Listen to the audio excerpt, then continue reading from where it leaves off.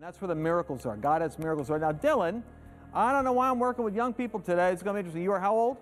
23. 23? Yeah. Okay.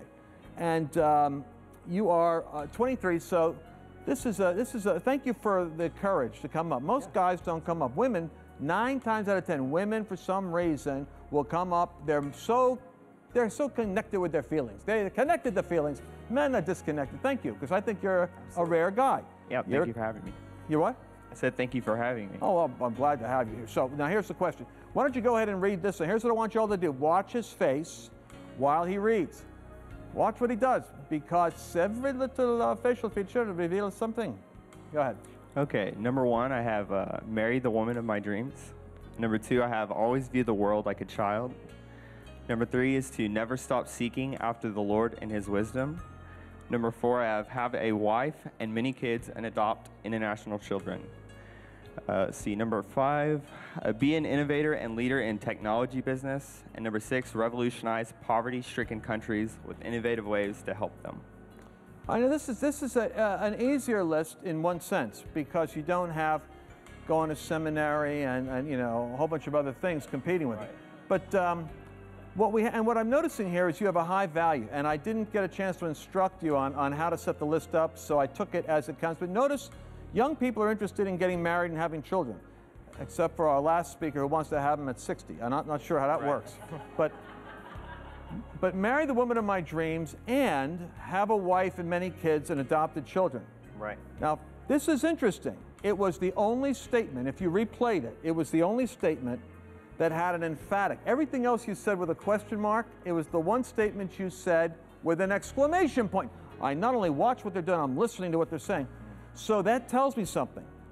That that for you, one of your core values is the woman, the dreams, the wife, the kids, adopted international children, is, uh, is connection. That there's something about connection as part of your, your value system, that's part of your passion. So, whatever you're going to do, the connection part is going to be there. And you also have the world, the view the world like a child. This is just what I see when I'm looking at this. Because I notice children, wife, child, woman. Anybody notice a pattern here?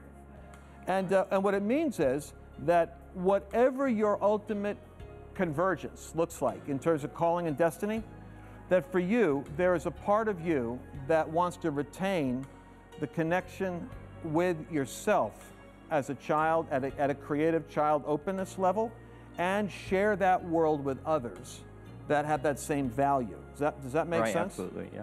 So, because that is a life phase thing, um, I'm going to suggest that uh, we're going to pull that off the list. Okay. And because young people, uh, they, they want to be married, and, and what I want to do is uh, I want to look at this in terms of the calling passion and not just the, uh, the desire passion. But what I'm going to do is I'm going to put it up here with uh, children and put that here and adopted children. So we have it, but that is going to be something which we're going to bring back in at the end of the process. Now, always view the world like a child.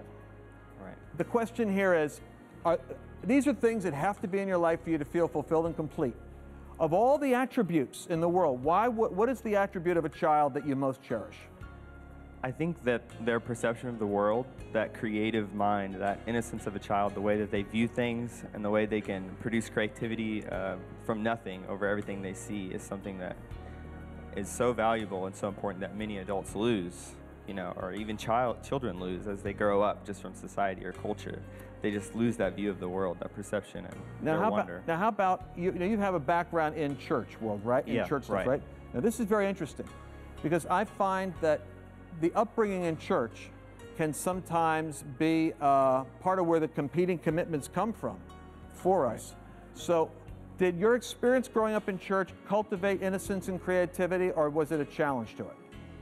I would say growing up in church as a child, it cultivated, Okay, definitely. great. What was the greatest challenge for you? What was the missing piece growing up in church as a young man?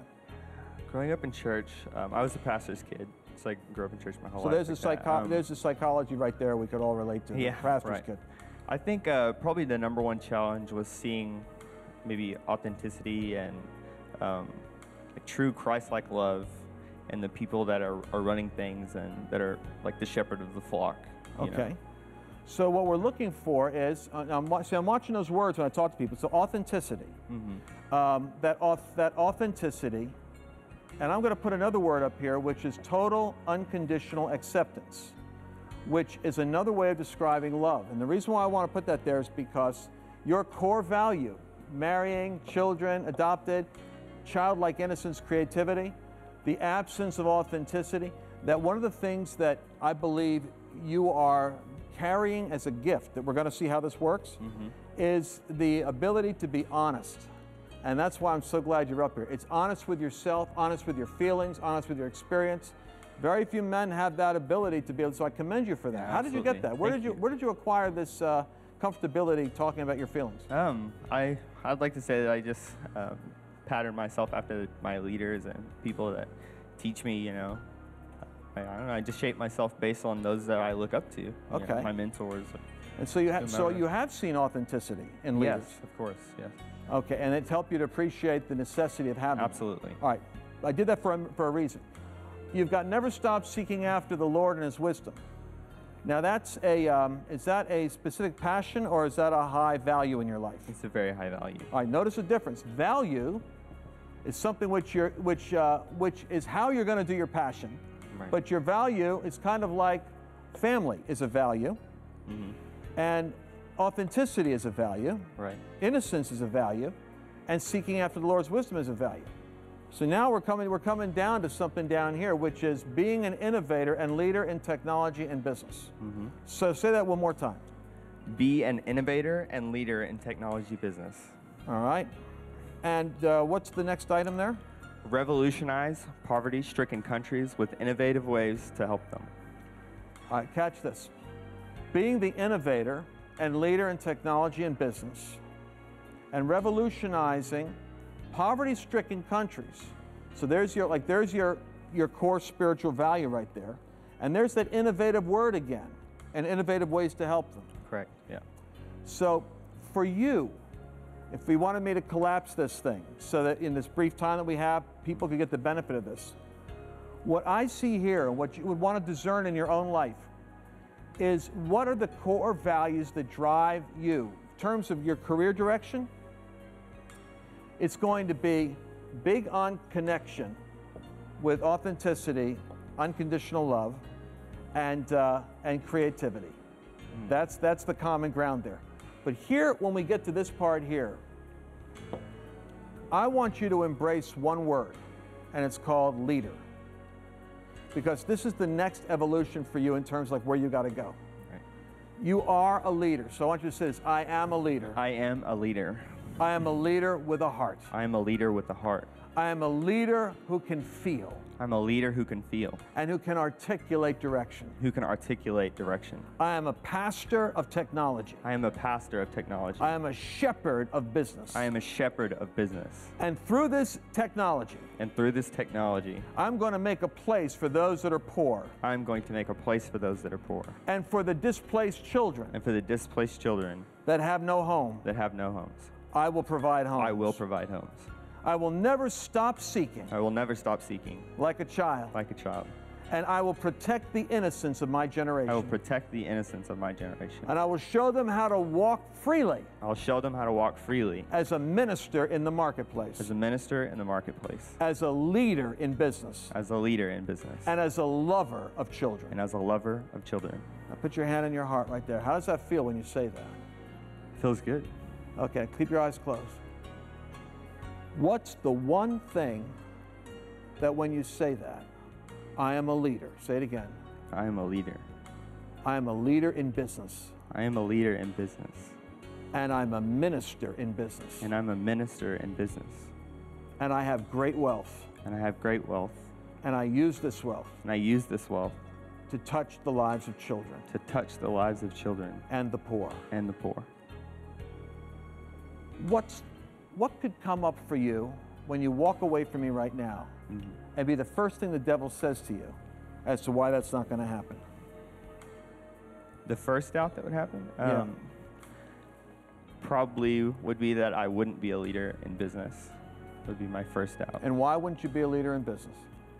I'm not exactly qualified And in, why in the traditional sense, education or Right. um, you know, even just growing up in, in that environment, you know, I obviously was a pastor's kid, so I, I didn't grow up in an environment that cultivated a business mind.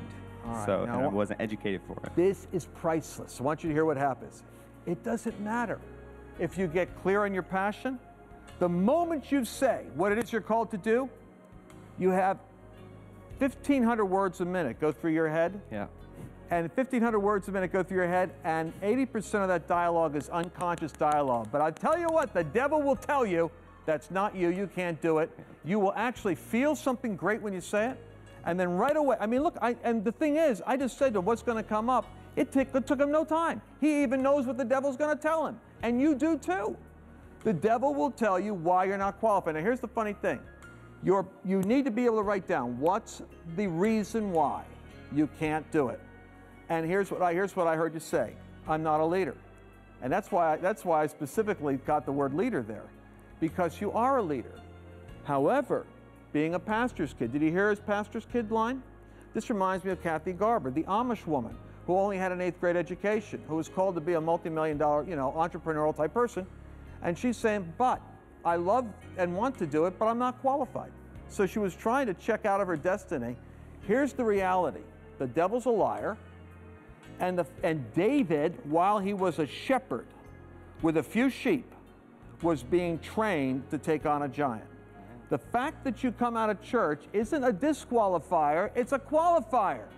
Because that experience of growing up with the people of God, uh, around church, around spiritual stuff, the value of that is that when you come out from that field of church into the field of business, when David came out in front of Goliath, you recall what Goliath mocked? Remember what Goliath mocked? He mocked David and his staff. You know why? The devil mocks the shepherds. He doesn't, he, the devil mocks shepherding. The truth of the matter is that you coming as a preacher's kid is like David. You not only saw what worked, but you saw what didn't work. Now, I want to do something which is totally honest right now. Okay. So get, get right there face to face with me. And frequently we need to do this. Young people become disappointed because leaders aren't always as complete as we want to be. And we don't always do a perfect job of modeling Jesus the way we wish we did. I've had to do this with my own children. And I want to stand right now, Dillon, in the place of pastors because I, I am aware that I failed also and being the authentic leader I needed to be. What I'm asking you is, will you forgive me as a pastor for failing as the pastor to protect and nurture you, your innocence, your hunger for God, creating a safe place for you to even fumble and fail and still feel complete and accepted and embraced? Absolutely, I forgive you. You forgive me. Yes. And will you forgive all the ministries that have disappointed you right now? Yes. I just close your eyes. Father, I thank you for this and all. You do this with me at home too. Father, we forgive those leaders that have fallen short, knowing that if we will learn from their mistakes as well as their strengths, we'll be able to do more exploits than even they did. And the truth is, Dillon, it was the failure that created in you the strength of this value Right. that you love that. Right. All right, now I want you to say this I am a leader. I am a leader because I was a preacher's kid, because I was a preacher's kid. I've got the best of both worlds. I've got the best of both worlds. I've got the DNA of the kingdom I've got the DNA of the kingdom and the anointing of an entrepreneur. and the anointing of an entrepreneur. I am a minister, I am a minister, and I take my shepherd's staff and I take my shepherd's staff right from the house of Jesse right from the house of Jesse into the place where I need to go to war. into the place where I need to go to war. And I take down the Goliaths in my life And I take down the Goliaths in my life because I'm a wealthy entrepreneur. because I'm a wealthy entrepreneur. And as I get it, And as I get it, I give it, I give it. and the world is made different because I was born. And the world is made different because I was born. There you go. How's that feel? It feels amazing.